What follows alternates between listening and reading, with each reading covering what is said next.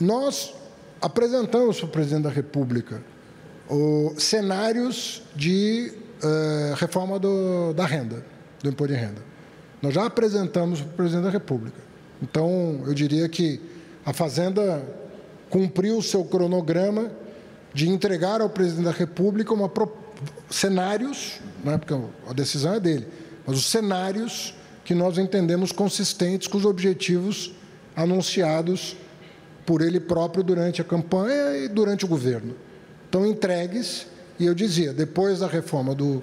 A mais difícil reforma para ser feita, do ponto de vista operacional, é o, a, a, da, a do consumo, porque exigia uma emenda constitucional e 40 anos de tentativas frustradas. Superamos. A emenda constitucional está promulgada e as leis complementares já foram avaliadas, pelo menos pela Câmara.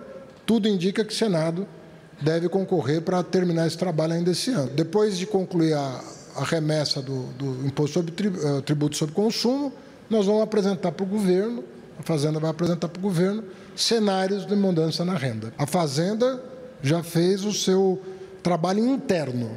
O governo fará o seu trabalho agora sob o comando já do presidente da República.